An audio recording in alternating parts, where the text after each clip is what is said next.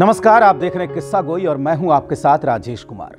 आज बात करेंगे बिहार के पहले और एकमात्र महिला मुख्यमंत्री की। वेब सीरीज़ महारानी में रानी भारती के मुख्यमंत्री बनने का दृश्य जिस तरीके से फिल्माया गया है, वो आपको अति नाटकीय लगा होगा। लेकिन आप ये जानकर हैरान रह जाएँगे कि बिहार के पूर्व मुख्यमंत्री राबड़ी देवी के सीएम बनने की कहानी भी इससे अलग नहीं है। जब चारा घोटाला मामले में लालू प्रसाद के खिलाफ चार्जशीट दाखिल हो गई तो यह तय हो गया कि देर सवेर उन्हें जेल जाना पड़ेगा। साथ ही मुख्यमंत्री पद से इस्तीफा भी देना पड़ेगा। यहीं से पटकथा लिखी गई, बिहार के पहले महिला मुख्यमंत्री की। जी हाँ, तारीख थी 25 जुलाई उन्नीस जब राबड़ी देवी ने पहली बार बिहार के मुख्यमंत्री पद की शपथ ली। तत्कालीन राज्यपाल ए आर किदवई ने राबड़ी देवी को पद और गोपनीयता की शपथ दिलाई। ये एक ऐसा फैसला था जो आसानी से हजम होने वाला नहीं था।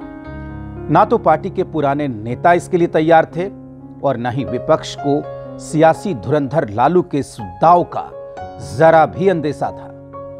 बताया यह भी जाता है कि खुद राबड़ी देवी भी इसके लिए तैयार नहीं थी। बिहार के मुख्यमंत्री के रूप में पदभार संभालने से पहले राबड़ी देवी ने खुद को अपने घर तक सीमित कर रखा था, अपने परिवार तक समेट रखा था। बच्चों की देखभाल ही उनका एकमात्र काम था। कहते हैं कि मुख्यमंत्री आवास में रहते हुए भी राबड़ी देवी बिहार के ग्रामीण अंचल की आम महिलाओं का प्रतिनिधित्व करती थी। उस वक्त अखबारों में बड़ी बड़ी पत्रिकाओं में इसे लेकर कई लेख भी लिखे गए थे। लेकिन सियासत की अनिश्चितताओं ने राबड़ी देवी को एक घरेलू महिला से बिहार का मुखिया बना 1990 में जब जनता दल बिहार की सबसे बड़ी राजनीतिक पार्टी बनकर उभरी तो मुख्यमंत्री के तीन दावेदार सामने आए। पहले थे रामसुंदर दास, जिनके सिर पर प्रधानमंत्री विश्वनाथ प्रताप सिंह का हाथ था, और दूसरे थे रघुनाथ झा, जिन पर दिग्गज समाजवादी चंद्रशेखर की छत्र छाया थी। इन दोनों सुरमाओं के बीच लालू प्रसाद को रेस जीतनी थी। लालू प्रसाद इस त्रिकोणीय संघर्ष में कामयाब रहे। सत्ता की कुर्सी उन्हें बहुत मुश्किल से मिली थी। वे इसे यूँ ही गवाना, यूँ ही खोना नहीं चाहते थे। जब उन्हें लगा कि अब वक्त आ गया है कि उन्हें मुख्यमंत्री पद से इस्तीफा देना ही होगा तो उन्होंने अपने उत्तराधिकारी के तौर पर राबड़ी देवी का चयन कर लिया। लालू प्रसाद चाहते तो अपनी पार्टी के किसी वफादार सिपाही को मुख्यमंत्री बना सकते थे।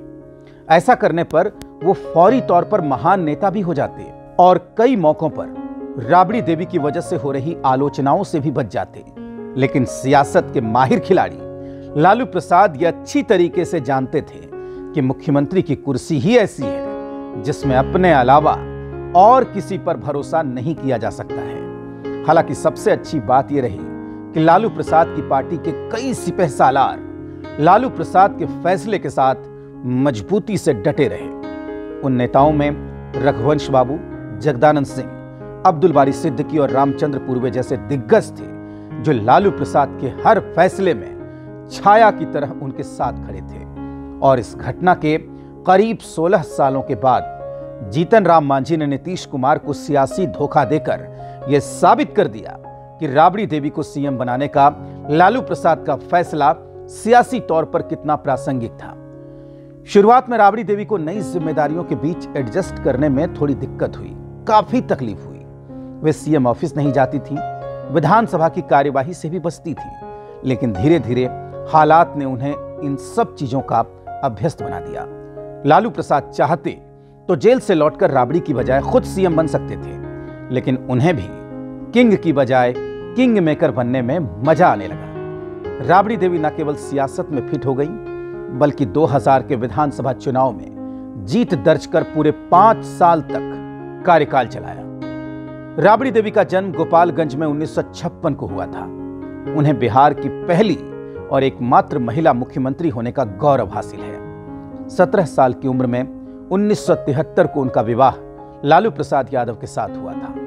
राबड़ी देवी सात बेटियों और दो बेटों की माँ हैं। वे 2014 का लोकसभा चुनाव सारण निर्वाचन क्षेत्र से हार गईं और उसके बाद उन्होंने सीधे चुनाव नहीं लड़ा। वे फ़िलहाल बिहार विधान परिषद की सदस्य हैं और वहाँ नेता विपक्ष भी हैं कई बार मीडिया से मुखातिब होते हुए और सदन में अपनी बात रखते हुए वे इस कदर आत्मविश्वास से भर जाती हैं कि एक बार की तो यकीन नहीं होता कि ये वही राबड़ी देवी हैं जो पहली बार मुख्यमंत्री पद की शपथ लेते हुए लड़खड़ा रही थीं, शब्दों को ढूंढ रही थीं। कई बार विवादित बयान देने की वजह से राबड़ी देवी सुर्खियों में भी रही लेकिन उनकी अब तक की सियासत पर अगर गौर करें तो उनकी शैली शालीन ही कही जाएगी। कुछ लोग राबड़ी देवी की तारीफ़ करते हैं और कुछ लोग उनकी शैली की आलोचना करते हैं। लेकिन इन सबसे अलग, बिहार की सियासत का कोई भी इतिहास बगैर राबड़ी देवी के मुकम्मल नहीं होगा। तो आज के लिए किस्सा गोई में बस इतना ही। और अगर ये कहानी पसंद आए तो लाइक करिए, सब्सक्राइब करिए और अपना कीमती कमेंट हमारे कमेंट बॉक्स में ज़रूर डालिए। तो आज के लिए बस इतना ही। नमस्कार।